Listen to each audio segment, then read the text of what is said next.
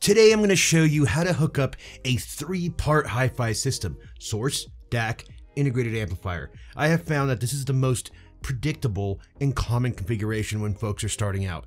Let's get to it.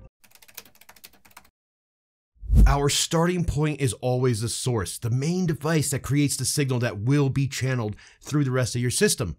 For this demonstration, I'm using the Primare CD35 Prisma. It's a great piece of gear that offers both streaming and an amazing CD player. This gives you the best of both worlds, and I'm looking forward to actually reviewing this unit for you very soon. Now, when it comes to connecting this component, I'm opting to use a digital coax cable. Specifically, I'm working with the Kimber Kables DV30 digital interconnect.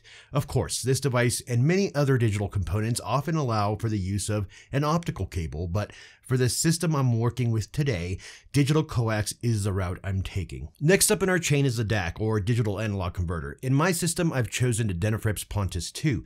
This beauty is just waiting for a software update, but even as it stands, it's amongst the finest DACs I've had the pleasure of experiencing. And it's built like a tank. I'm talking about solid metal chassis. Simply connect a digital coax cable to the coax input at the back of the DAC.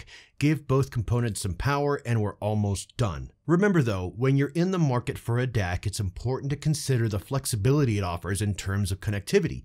The Pontus 2, for instance, it's feature packed and it offers a multitude of options, but your choice doesn't have to be that crazy. What truly matters is ensuring the DAC you decide to go with provides the freedom to connect a variety of devices as per your needs and preferences. In essence, the best DAC is one that can seamlessly adapt to your audio setup, letting you add or change components whenever you want. The world of audio equipment is all about creating the perfect personalized experience, and having a versatile DAC can be a significant part of that. Once everything's connected, I'll be using Kimber Kable's Hero RCA cables to connect the DAC to our amplifier. Currently, I'm testing the new i150 integrated amplifier from Buchardt. It's impressive in its construction, and I'll be reviewing this product in depth very soon. Just connect the RCA cables to the amplifier's analog inputs. Super easy.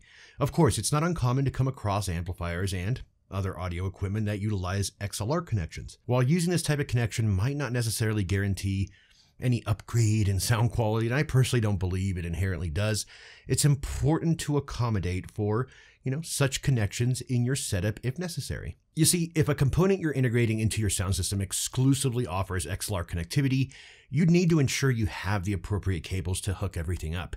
Being prepared with the right types of cables for different connections can save you from, you know, potential headaches down the line. Remember, the key to a well functioning sound system is having everything linked seamlessly, and for that, you need to account for all types of connections you may encounter. The final stage involves running the Kimber Kable bifocal XL speaker cables, which I'm using to bi-wire my Infinity Kappa 8s directly to the speakers.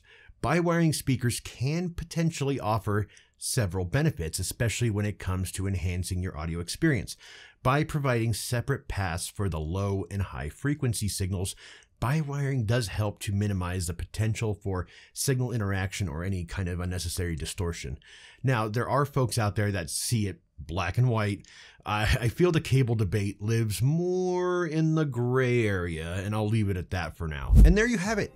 Simple and straightforward. Sometimes people make this process seem more complex than it needs to be. The real challenge, in my opinion, lies in positioning your speakers to achieve that perfect sweet spot and acoustically treating your room for the best sound quality.